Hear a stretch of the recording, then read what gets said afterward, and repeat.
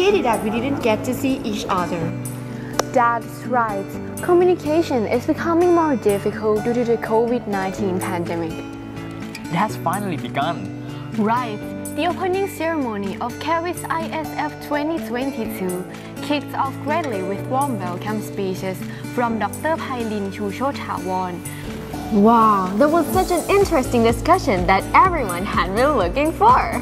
That was such an inspiring presentation. I got a lot of ideas from my research from it. I'm completely exhausted after getting through each room in today's activities. Yep, me too. But we must keep our cool because today we have a guest. A guest? Yep. So I would like to welcome our special guest. Hello, I am Wasman Pongsavat. You can call me Teacher Pom.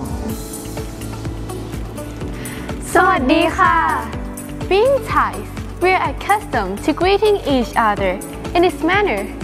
It is one of Thailand's most unique customs, signifying a warm, cheerful greeting. Oh, seems like our time is up now.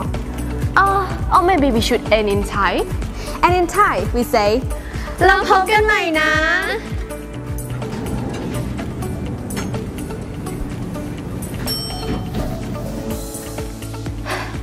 It seems like our week long journey has come to an end. Oh, don't be sad.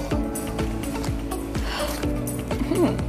I heard that although every journey has an end, it also comes with a new beginning.